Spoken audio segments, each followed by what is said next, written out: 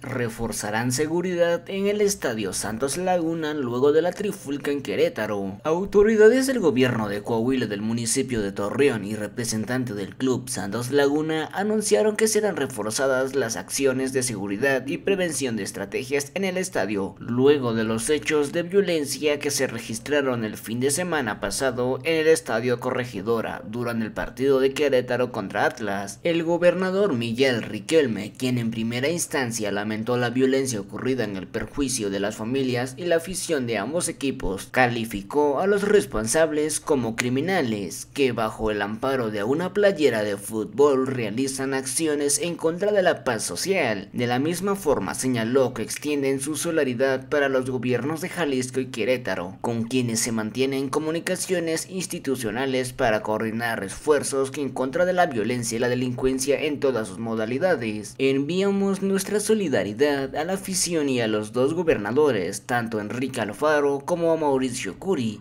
a los familiares, sobre todo los quienes fueron heridos, de quienes fueron salvajemente golpeados. Aquí mi reconocimiento a la afición del Atlas y de los Gallos Blancos del Querétaro, que son gente buena, no tenemos por qué condenar al fútbol mexicano. Son criminales que atentaron con una sociedad buena, con una afición buena, además con equipos que han dado ejemplo, pues el Atlas fue campeón del fútbol mexicano, entonces lamentamos y condenamos los hechos. Aprendamos de la tragedia, fueron sus palabras. En ese sentido, hizo una reflexión de la dinámica de protección ciudadana que se tiene en el estadio de Santos Laguna, en el que cada partido se despliegan al menos 800 efectivos de seguridad pública, privada y de organización del estadio, para evitar precisamente trifulcas o hechos que afecten a los asistentes, especialmente al tomar en cuenta que se trata de espectáculos familiares y en el que hay personas importantes. Señaló que en ese sentido será el próximo miércoles cuando las autoridades del Club Santos Laguna realicen una nueva mesa de análisis de condiciones de seguridad al interior y exterior del Estadio Corona, encuentro en el que habrá de evaluar lo que se hace hasta el momento y las áreas de oportunidad en materia de protocolos y planes de contingencia. Reforzaremos las medidas de seguridad en el estadio, porque hoy en día no es cuidar a la afición, es cuidar a las familias que de bien van y asisten a un espectáculo como lo es el fútbol mexicano. Este miércoles nos reuniremos con la directiva del club, estaremos analizando todos los protocolos que se manejan en el estadio, manifestó el gobierno de Coahuila y representantes del club Santos Laguna. Y hasta aquí el video, no olvides en suscribirte y dejar tu like ahí abajo.